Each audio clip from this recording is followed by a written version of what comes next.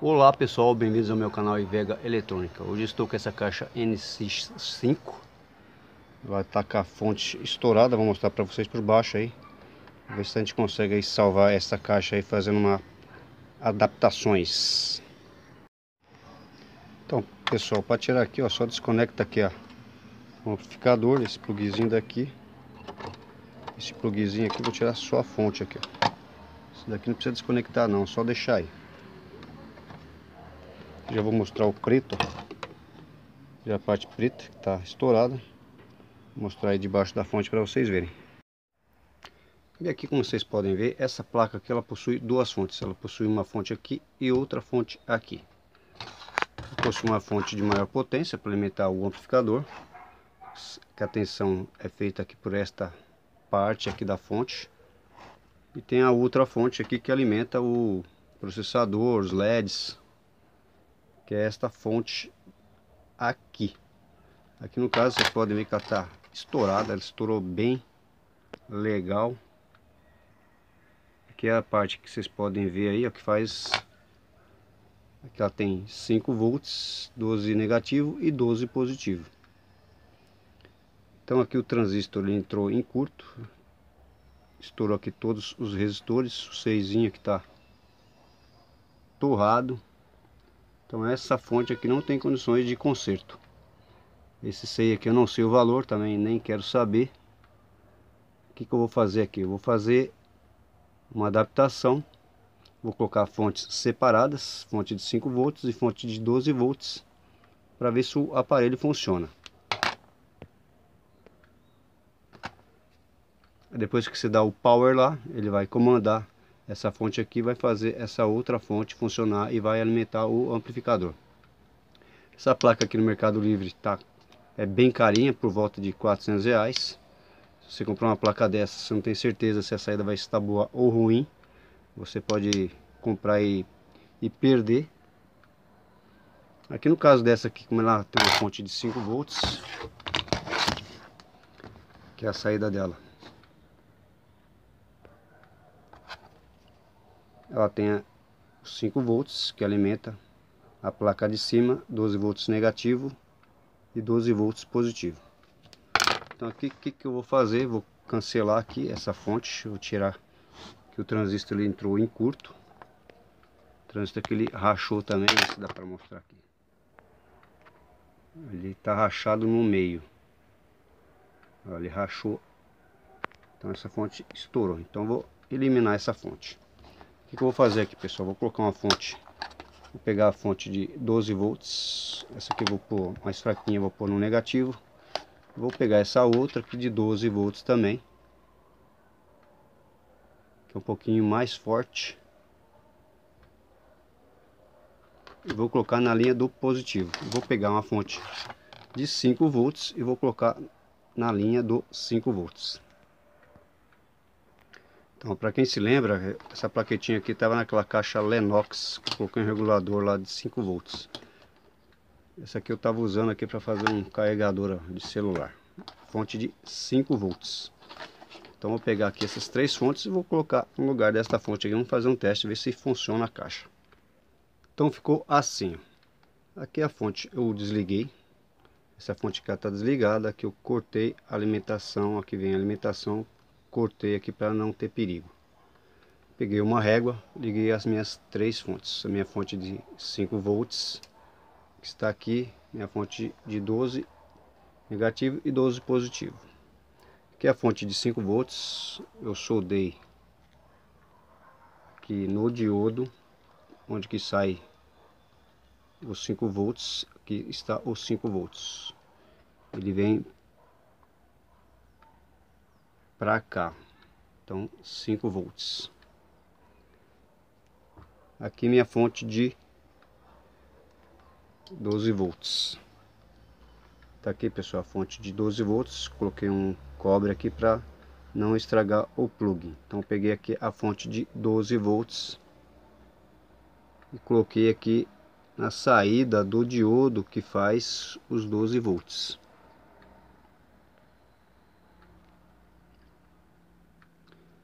Aqui é os dois diodos da fonte. Aqui eu passo o ciclo positivo. Ó. Então esse aqui é o positivo. E este aqui, o diodo, ele passa o ciclo negativo. Então essa fonte é a negativa. Peguei a fonte positiva. O negativo da fonte de 12 volts positivo, soldei aqui no terra, no 0 volts. E os 12 volts eu soldei aqui no positivo. Bem no, na saída do diodo. E a fonte do negativo, aí você tem que prestar bem atenção positivo da fonte do negativo, que é o positivo. Você vai ligar no terra, que está ligado junto no terra. É o positivo da fonte de 12 volts que vai o negativo. E aqui o negativo, a parte negativa da fonte, ó, fiozinho preto, ele vai ligado nos 12 volts negativo. Então tem que inverter aqui, pessoal. O positivo você liga certo, negativo com positivo. Agora invertir o negativo, você tem que inverter a fonte para dar os 12 volts negativos. Bom, aqui nós temos aqui tem um transistor. Eu tenho os 12 volts negativo. E aqui neste outro transistor eu tenho os 12 volts positivo. Esses dois transistores aqui só vão liberar depois que ligar o aparelho de som. Aqui depois que vem o, on aqui, o power, esses dois transistores vai mandar aqui os 12 volts negativos, dois 12 volts, tanto negativo quanto positivo. Agora eu vou colocar ele lá no aparelho e vamos ver se o aparelho funciona. E no caso aqui da fonte também eu vou ligar aqui junto com a régua. Aí vai ligar tudo junto. Aqui eu já fiz as ligações, coloquei uma cadeira, apoiei tudo bonitinho, aqui minha extensão. Aqui está ligado a, a caixa, o fio da caixa direto na tomada. E aqui está minha extensão. Então tá aqui a fonte de 5 volts e as duas fontes de 12 volts. Tá aí ligadinho aqui, tá bonitinho. E aí, será que funciona ou não funciona? Vamos lá ver. 5 volts, está ali funcionando. E aqui o standby já está aceso. Não estava aceso, não ligava nada antes. Agora vamos ligar aí, ó. Ligou bonitinho, pessoal. Pendrive, eu já havia testado antes. Pendrive aqui. Já está tocando.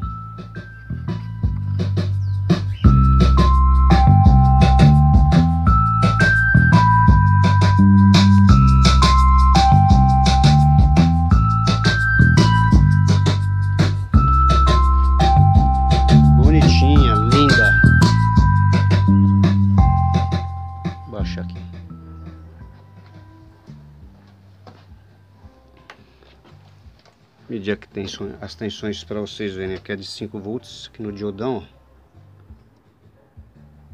tá dando aí 5 volts não tá caindo nem nada aqui no diodinho de saída dos 12 volts tá aí a fonte de 12 volts. E aqui nessa bobininha tá os 12 volts negativo liga alimenta o circuitinho bonitinho Aqui é a nossa fonte. Vou aumentar aqui para saber. Esse resistor aqui, a fonte é 39 volts.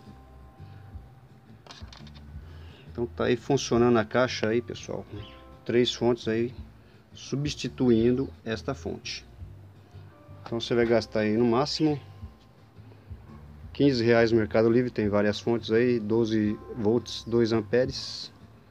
15, 15 reais, mais 15 reais você vai gastar 50 reais aí de fonte para fazer o aparelho funcionar em vez dos 400 reais desta placa aqui. Agora vou ajuntar aqui as duas fontes, vou fazer outra ligação, pegar a plaquetinha, deixar aqui fixado aqui dentro, ligar aqui as duas tomadas juntas, juntas com a entrada de energia e vou deixar aí dentro já funcionando o aparelho. Aumenta aqui.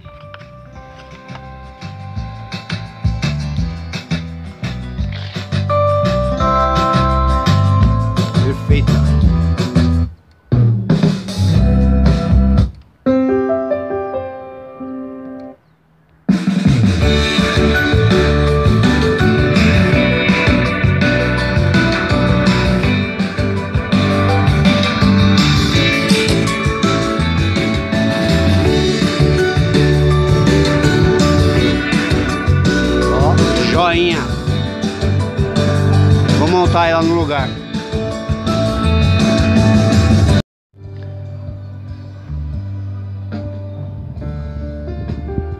Eita aí pessoal, já coloquei aqui as fontes. Eu tirei da caixinha para dar uma refrigeração melhor. E já que tem um nosso coolerzinho aqui, aí ventila melhor para não ficar fechada dentro da caixinha. Aqui está a fonte de 12 volts Aqui é a fonte de 12 volts negativo e aqui a minha fonte de 5 volts. Interliguei o AC, todas elas eu interliguei aqui junto. Liguei aqui, soldei aqui embaixo do AC da placa. Os 5 volts alimenta aqui o nosso diodão aqui, o mais grosso. Aí os 5.2 volts. Aqui nesse diodo aqui é os nossos 12 volts. E aqui é a nossa fonte. 12 volts negativo. 12 volts negativos. Aqui o positivo dessa fonte é ligado no, no terra, no terra da caixa. E aqui o negativo dessa fonte ele é ligado no negativo lá do capacitor. Então por isso que fica negativo, ela é ligada invertida. Que o positivo fica no terra e aqui onde é o negativo dessa, fica com 12 volts negativos. Então é o, positivo, o negativo e o positivo dessa ligado juntas. Aí dá uma fonte simétrica de 12 mais 12 volts.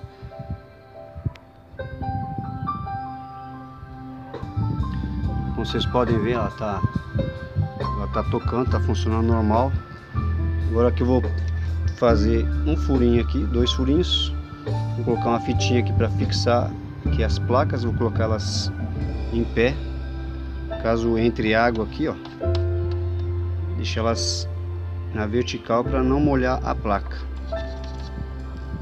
Essa aqui também vou deixar ela na vertical.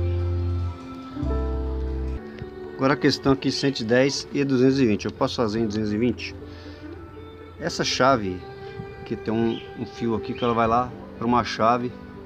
Essa chave ela só é para esta fonte aqui, ó, de 300 volts. Ela tem um duplicador aqui através desses dois capacitores. Ela dobra a tensão para 320 volts. Se colocar em 220, é só mudar a chavinha lá para 220 e essas fontes aqui elas são automáticas, então pode ser para 110 ou para 220, que não vai alterar nada. Elas vão funcionar normal. Aí a única coisa que vai alterar é a chavinha. Tem ali atrás seletora de tensão para mudar aqui a fonte de maior potência.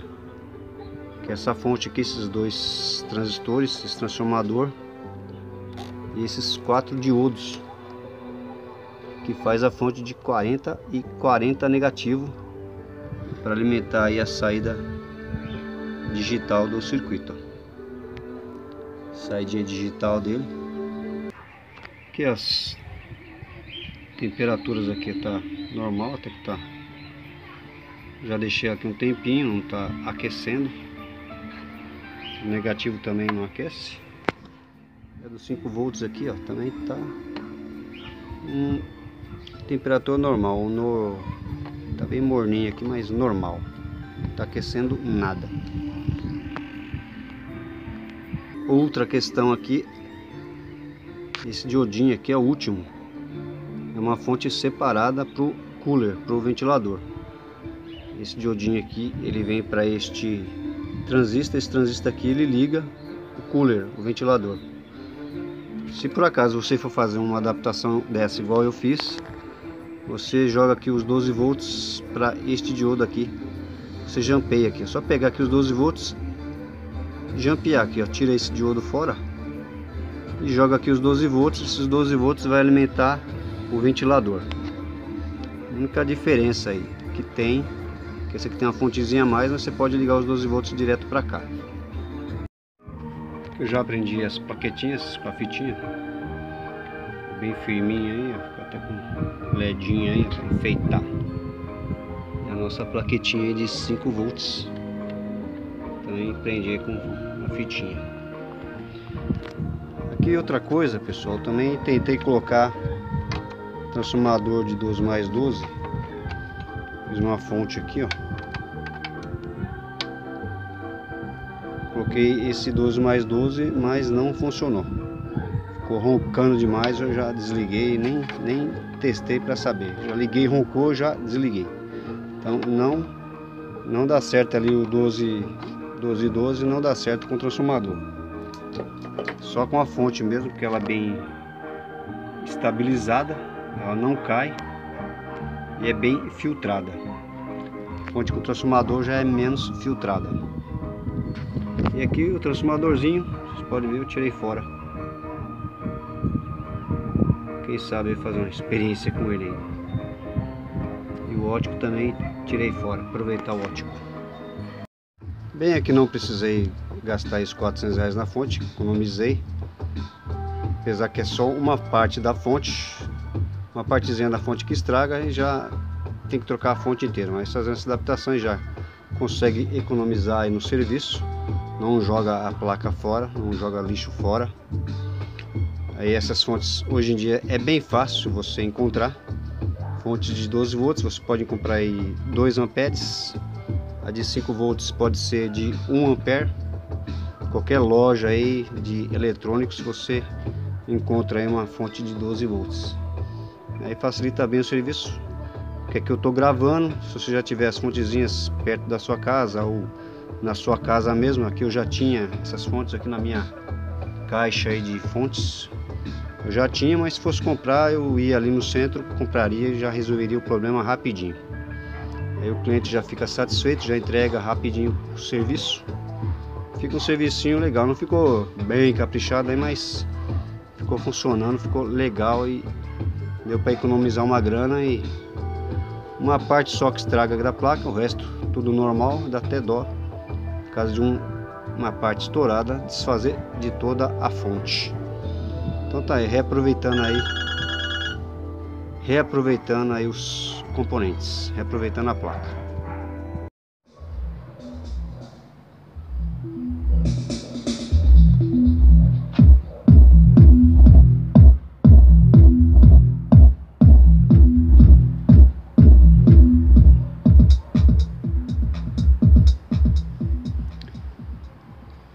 Então é isso aí pessoal, caixa funcionando direitinho Vídeo aí bem interessante, que deu para aprender bastante coisa aí, fazer aí as adaptações Se você gostou, deixe o seu joinha no meu vídeo, se inscreva no meu canal para você receber mais dicas de eletrônica. Valeu, obrigado!